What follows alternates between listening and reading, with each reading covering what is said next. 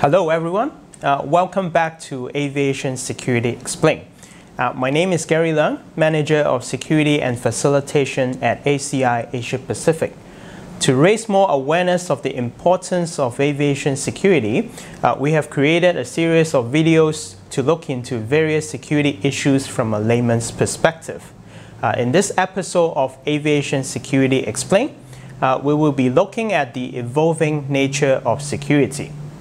Uh, in our last video, we discussed the basis of aviation security. We mentioned that security screening is a necessary part of your travel journey and that no passenger can be exempted from it.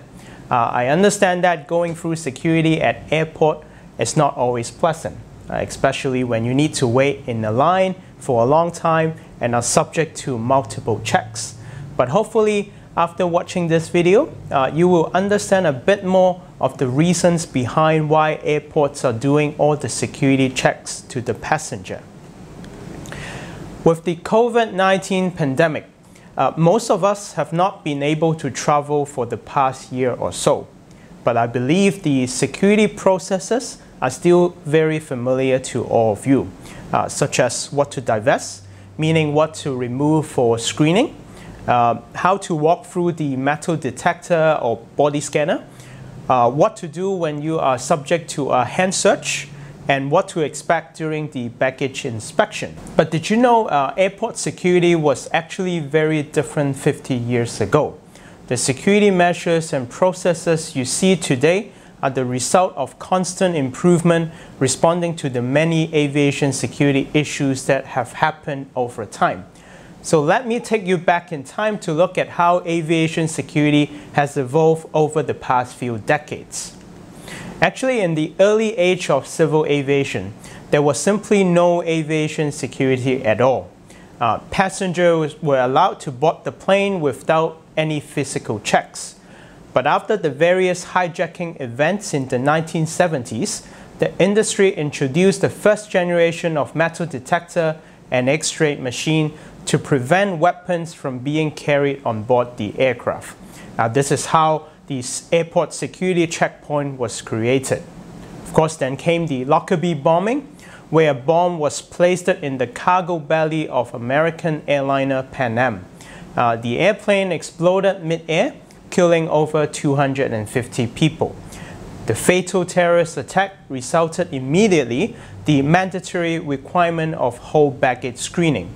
So since then, every piece of checked baggage had to be screened prior to being loaded onto the aircraft. Of course, then came the 9-11 attacks. Some of you might still vividly remember what happened. Coincidentally, uh, this year commemorates the 20th anniversary of the attack. And because of 9-11, rules uh, surrounding prohibited items like sharp items and knives have been greatly tightened and the flight deck door is now always locked during the flight. And um, there are there have been a number of security issues after 9/11 that also led to significant changes in the security processes.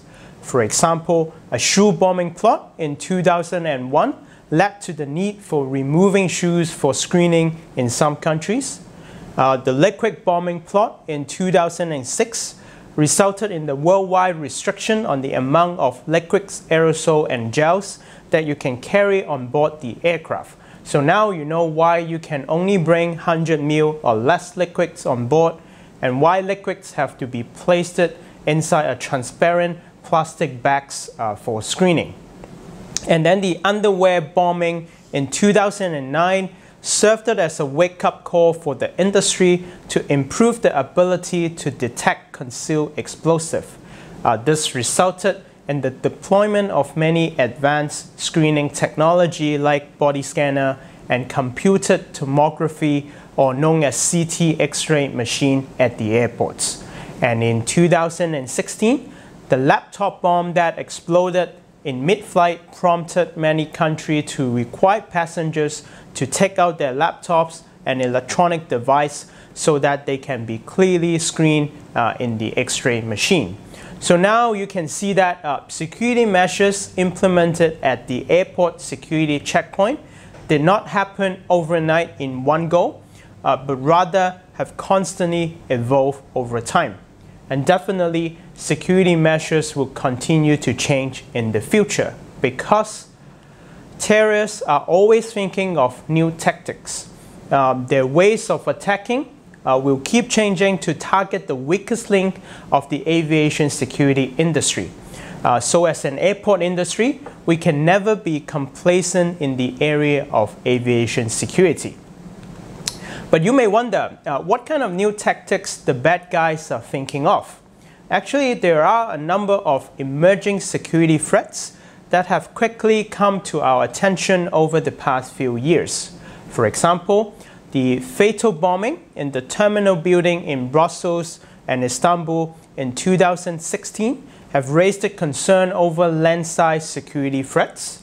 Uh, other alarming threats include, for example, attacks conducted by trusted insider or airport staff, uh, attack against air cargo supply chain, attack using chemical or biological weapons, drones attack, and last but not least, uh, cyber attack.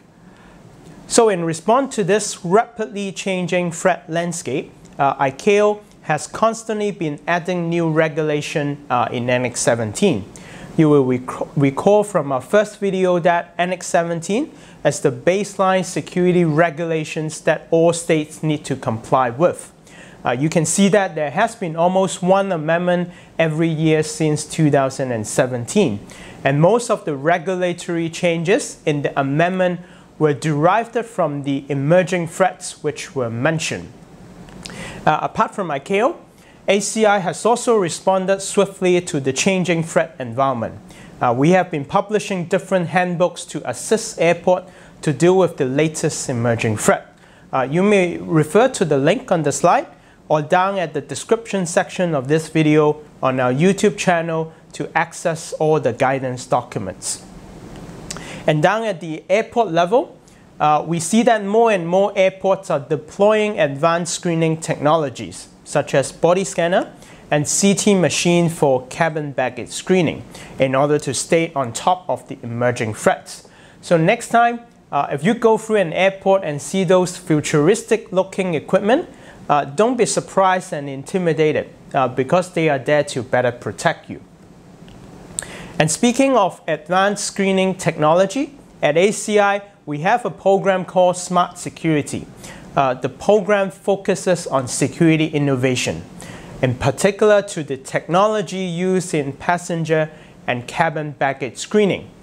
The objective of Smart Security is not only to help airports strengthen security, uh, but also more importantly to work on ways to increase operational efficiency and improve passenger experience at the same time.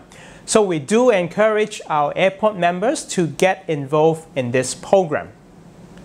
Uh, very recently, the Smart Security Program published its Vision 2040 to actually set the vision for the future of airport security.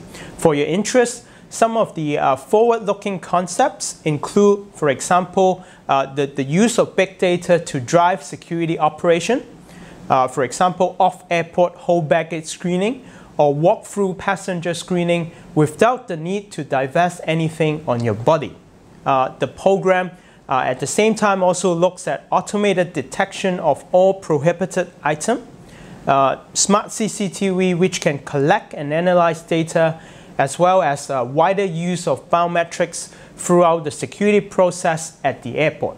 Again, if you are interested to know more about this Vision 2040 or the program itself, you can refer to the link to access the document and know more about the program. Uh, so to conclude, we understand that aviation security today has come a long way since the introduction of the first generation of equipment deployed at the airport in the 1970s. Uh, with the evolving nature of security threats, aviation security will continue to evolve and improve in the future. Uh, no one knows what an airport security checkpoint will look like in 50 years from now. But as I mentioned in the, uh, in the first video series, uh, humans will still be an important element in aviation security with the support of technology. So next time, if you are stuck in a line waiting for a security check in an airport, try not to be agitated uh, because everything we do is to protect you and other passenger. So this wraps up the second part of our Aviation Security Explained video series. Uh, there will be another video on how the COVID-19 impact has impacted security operation next week. Uh, if you missed it, the first episode describing the basis of aviation security, uh, try to head to the ACI Asia Pacific YouTube channel. Uh, if you do have questions, feel free to leave your comments below or you may contact me directly by email or by phone. So in the meantime, stay safe, stay tuned, and see you next time. Goodbye.